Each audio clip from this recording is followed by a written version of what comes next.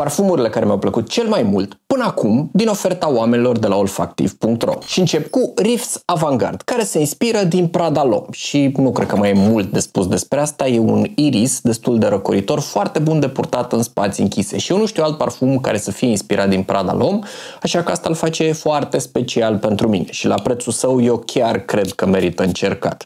Dacă vrei să miroși așa udrat, elegant, nu mai bun de birou. La Tafa Mahir Legacy este inspirat din parfum de Marley Sedley. Și știi că sunt fan parfum de Marley, dar pe Sedley nu l-am. Așa că Mahir Legacy vine cu mirosul ăsta de gel de duș, cu puțină mentă, cu multe citrice, răcoritor și surprinzător de persistent. Mie mi se pare că ăsta e mahirul pe care trebuie să-l iei. Apoi, Alwatania Rawai Noble, un parfum foarte interesant. Se deschide cu citrice și piper și nu o să te surprindă asta, după care ești invadat de niște fructe tropicale, lucru care îl duce într-o altă zonă, mai de vacanță, mai un miros puternic, după care la bază are coniac și note lemnoase, lucru care îi dă un pic de mister. În cele din urmă mi se pare un parfum foarte interesant construit, că pe măsură ce l-ai pe piele, te tot surprinde. Zici, a, m-am prins, fructe tropicale.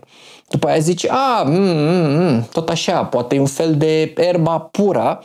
Și în cele din urmă, stând pe piele, parcă se duce puțin, doar puțin, nu zic că e inspirat, înspre Sospiro Accento. Oricum ar fi, mi se pare un parfum neașteptat de creativ. Și apoi e Riffs Imperial Blue, inspirat din, cred că e destul de clar și de la sticlă, că e inspirat din Versace Eros, așa că potențează și mărul, și vanilia, și menta.